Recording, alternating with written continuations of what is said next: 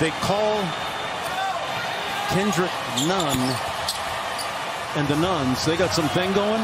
You know, the Nuns, Nuns.